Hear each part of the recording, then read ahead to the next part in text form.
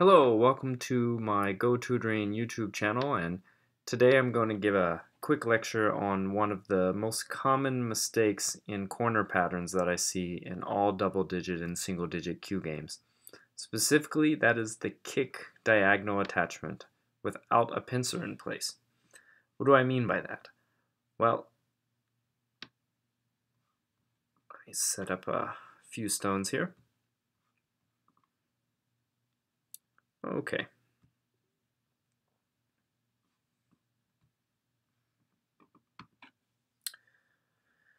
So in this case, many players who play at the kyu level will make this diagonal attachment.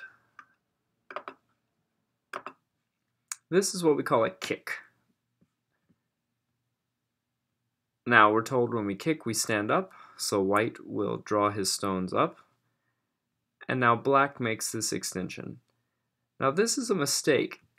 It feels really great for many kyu players and it seems intuitive because suddenly black has, you know, quote unquote defended that upper right corner and it's still black's move so black can continue on with his business and go approach white's formations. However, we really have to evaluate whether or not this exchange, A for B, is warranted, and when it's warranted. So, if white makes the mistake of coming within this formation, now there's the pre-placed pincer that I mentioned in the beginning of this video. There already is a stone in the middle of where white would want his extension. So now it's a brilliant time to make this move. Now in this case, white has a very cramped group that will become a burden and he has to draw it out very heavily and black can develop on both sides of that white group as he attacks it. That's when it's appropriate to use the kick. It's inappropriate to use when there's not a pincer around A, either one space nearer or it could be high, it could be on the fourth line, it could be on the third line. But without a stone there, the exchange for A for B actually helps white quite a bit more. Let's do an analysis where we change the move order.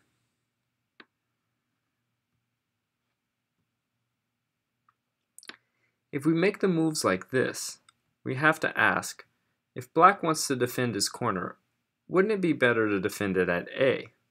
Not now, but later in the game. Or he has the option of invading white at B and trying to create a separation in white stones. He would rarely play the move C though. That would just seem to help white in this instance. Now, the big thing that many kyu players miss is that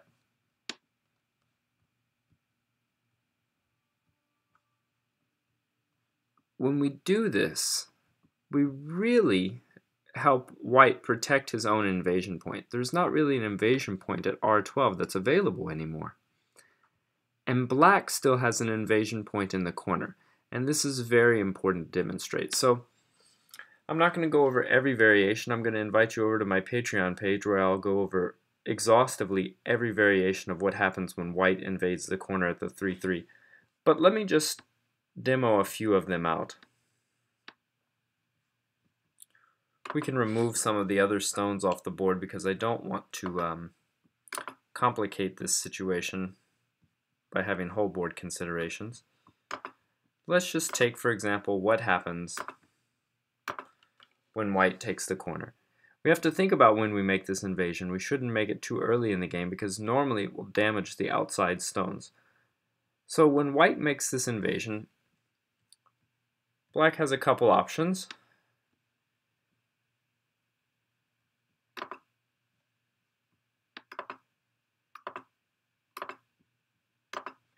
We could consider all the moves A through E here. Let's start with E. That one's the very simplest. If black makes E, white would happily connect under here. So even though black seems to keep the corner, white would take some side territory and remain with the Sente, with the initiative. Furthermore, white has this move in the end game. So black doesn't even truly keep the corner. Sometimes you might see something like this.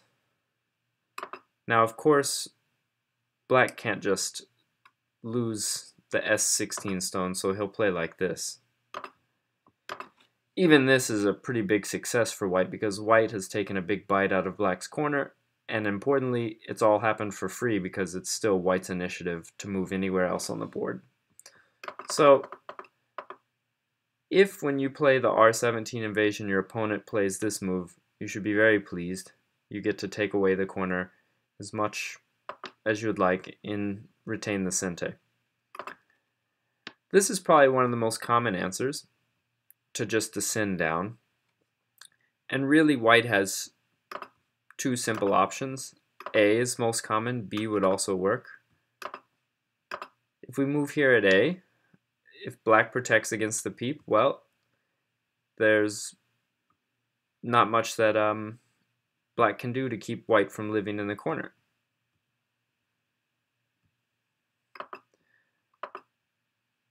If black really wants to take the corner, he can make a move like this. White would have to defend from the double Atari, and black can take the corner back, but you see white would make a very happy position along the upper side. So that would be a success for white.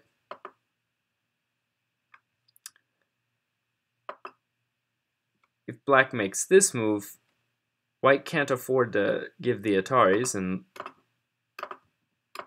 he would end up losing the corner like so.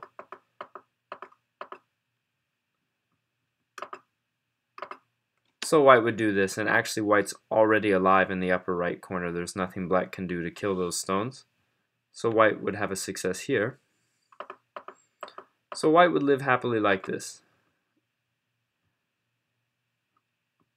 With a descending move, white can play this and there's not too much black can do to prevent life here either. If he plays this, well, we get the same variation that we just received. And he can't really afford to cut too much if he cuts, well,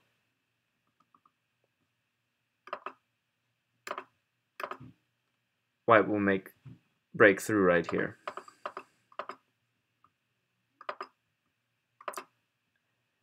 And if he cuts this side, again, white's really happy, and he can still break through and make a position on the top side as well.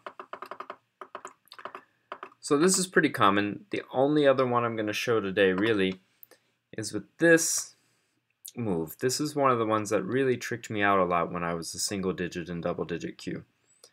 This one is a little bit more complicated, so I'm going to show that this is the special move that really creates life here. If black tries to block you off from moving on the side, you have to make one other very special move.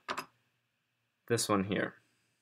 So in this way, you're aiming at making life here at A. So of course, black's going to block you from A, and you play this. And believe it or not, this is already alive with two eyes. If black tries to steal your eye, you still have the eye at the 1-1 point. Now don't make this mistake. This is a common double-digit mistake and single-digit kyu mistake. Now white would die here, white has to play like this.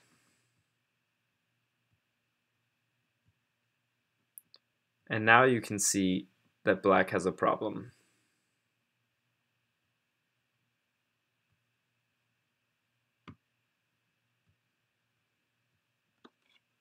You can see that black's group only has three liberties and is not going to get any more liberties. White's group has four liberties and cannot be Atari'd from R18 yet. So black is going to crumble in this race.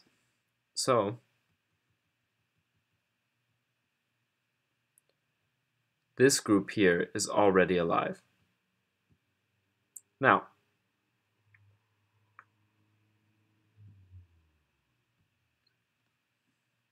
the other option black would have would be to play here.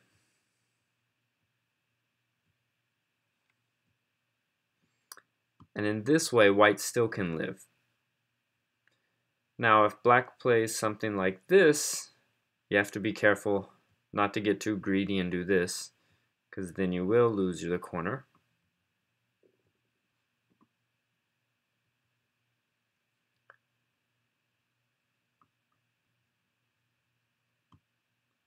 So if this happens, white's alive here. He has the straight 4, which is already alive with two eyes. So if you have a straight 4 in the corner, it's alive with two eyes. So these are the variations that I wanted to show today. Just the simple ways that we can invade the corner. Um, if you want to see every variation, I'll make a longer video and I'll put it on my Patreon page. And I hope this shows why the kick is not actually as beneficial as it seems. I think many double digit kyu players think that kicking and then making the extension defends the corner and makes the corner bigger.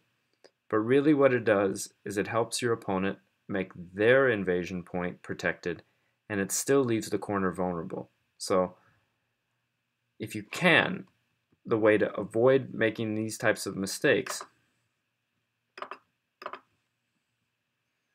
is simply when someone approaches you, don't make the kick. Just make the extension.